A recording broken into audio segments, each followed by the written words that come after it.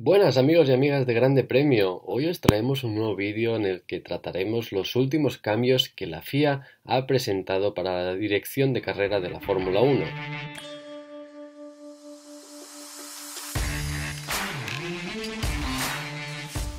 Pues como hemos comentado en la introducción, la FIA presentó una serie de cambios muy importantes de cara al futuro de la, de la Fórmula 1 y es que la categoría se vio envuelta en mucha polémica debido al final de la temporada 2021, con ese gran premio de Abu Dhabi que terminó con ciertas tomas de ciertas decisiones mal tomadas o a medio tomar, por así decirlo de alguna forma, que acabaron influyendo en el resultado final del Campeonato del Mundo de Pilotos.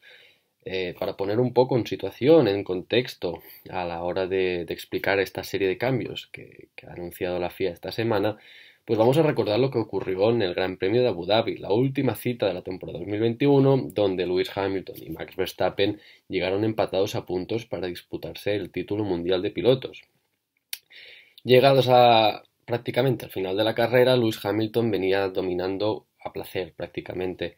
eh, ya estaba muy, pero que muy cerca de la victoria y seguramente de su octavo título mundial. Pero un accidente no afortunado de, de Nicolas Latifi a las nada, seis vueltas del, del final de la carrera provocó la aparición de un coche de seguridad.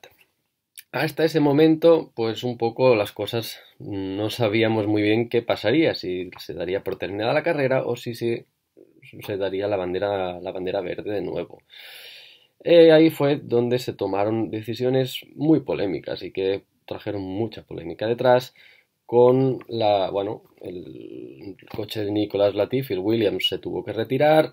El director de carrera en un primer momento no permitió que los doblados se pudieran recuperar la vuelta para dejar el orden, el orden de salida detrás del safety car eh, con las posiciones de carrera, pero al final cambió, cambió de idea, también por presión de Mercedes, presión de Red Bull, hubo mucha presión encima del director de carrera, que en ese momento era Michael Massey, y al final permitió que los doblados entre Max Verstappen y Lewis Hamilton sí que pudieran desdoblarse, dejando a Hamilton y Verstappen eh, a, solo a falta de solo una vuelta para el final juntos para poder disputar de tú a tú en una batalla sin precedentes en la Fórmula 1 disputar el campeonato mundial. Finalmente ganó Max Verstappen, Lewis Hamilton y Mercedes salieron derrotados. Mercedes incluso intentó pues eh, protestar esas decisiones, ese, ese, mal procedimiento del coche de seguridad. Al final quedó nada, no ni siquiera apelaron la, la solicitud denegada y la FIA pues prometió cambios, una investigación a fondo liderada por el presidente de la entidad, el nuevo presidente Mohamed Ben Sulayem, que lideró esta investigación y acabó teniendo consecuencias para el director de carrera.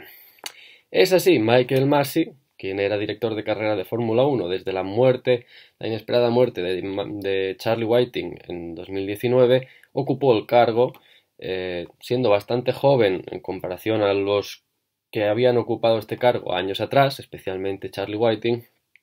y siempre se ha, tenido muchas polémicas a lo largo de su trayectoria como director de, carrera de la Fórmula 1. La más reciente posiblemente podríamos hablar de, ese Gran Premio de Bélgica que no acabó disputándose, pero sí que se dieron la mitad de los puntos y se dio por válido. Pero eh, el Gran Premio de Abu Dhabi lo, lo mató. Lo mató, para así decirlo, de alguna forma porque acabó con su rol como director de, carrera de la Fórmula 1, pasará a ocupar otro cargo dentro de la entidad, pero esa posición de director de carrera se le reemplazarán dos personas, dos personas bastante experimentadas en el mundo del motor y que ya tienen cierta experiencia en este tipo de, de cargo deportivo. Se trata de Niels Wittich, y de Eduardo Freitas. Ambos se alternarán el papel de director de carrera de Fórmula 1 a lo largo de la temporada 2022. Todo ello con la asistencia de Herbie Blash, un veterano que ya fue subdirector de carrera de Fórmula 1 entre 1995 y 2016 y que estará fuera del circuito en una, dentro de las oficinas de la FIA en Londres y que tendrá lo que también es muy novedad para de, cara a esta temporada 2022 tendrá la ayuda de un tipo de VAR como en el fútbol, un, video asistencia, puede tener muchos nombres, video arbitraje, Simplemente se tratará de una herramienta totalmente innovadora en el mundo del automovilismo que servirá para intentar imponer el reglamento deportivo a, la pista. Toda acción que sea polémica o sea digna de investigación podrá revisarse con este dispositivo electrónico que contará con herramientas tecnológicas de alta tecnología y que debería ayudar a tener cierta neutralidad, cierta objetividad y a tomar decisiones con más coherencia, con más firmeza que años atrás, que es lo que realmente se ha pedido mucho. Realmente en el mundo del fútbol hemos visto que el, el VAR también lo interpretan personas y al fin y al cabo, pese a ser una ayuda que puede pues facilitar y mucho la faena de los, de los que se encargan de poner de, regir las, las reglas en, las carreras o en ese caso en, los partidos de fútbol, pues siempre también se cometen errores, también se toman decisiones polémicas y al fin y al cabo es una ayuda pero no acaba de eh, solucionar la, la parcialidad dentro de, de, la hora de asumir, de, de poner ciertas reglas y de arbitrar una competición deportiva como puede ser el fútbol o la Fórmula 1. La novedad del VAR pues realmente ha sorprendido y mucho, pero realmente la llevará, mm, tendrá la, supervisión de una persona como es Blash, que tiene gran experiencia en la Fórmula 1. Estuvo con Eccleston y Gordon Murray en Brabham en los años 80 y desde entonces ha estado siempre comunicado con el mundo del motor. Fue, como hemos dicho, subdirector de Fórmula 1 entre el 95 y el 2016 y ahora vuelve a la FIA para ocupar un cargo como subdirector de, carrera de Fórmula 1. Freitas y Wittich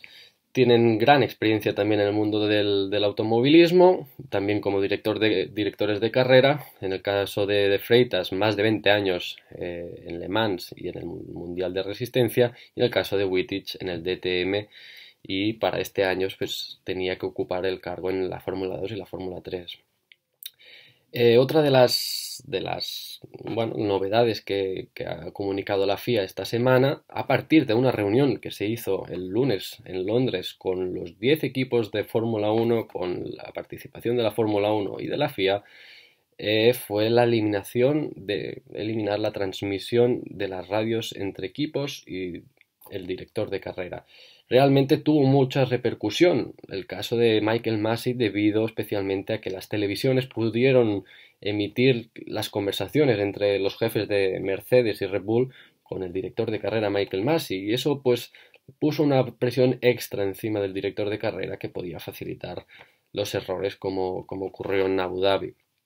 Aparte de no, no transmitir estas conversaciones privadas en ese sentido entre los equipos y, la FIA, tampoco podrán poner esta presión extra que se vio como tanto Toto Wolf como Christian Horner intentaron someter a, Michael Massey y tan solo permitirán a los equipos eh, someter preguntas incisivas al director de carrera.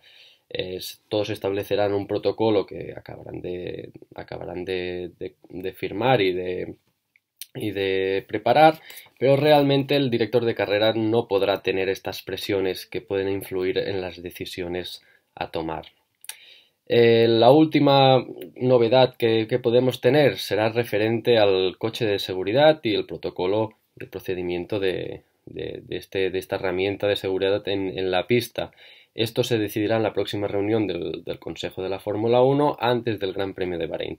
Y así pues la FIA prepara un poco estos cambios para no tener, no dañar la imagen de la entidad y aparte intentar solucionar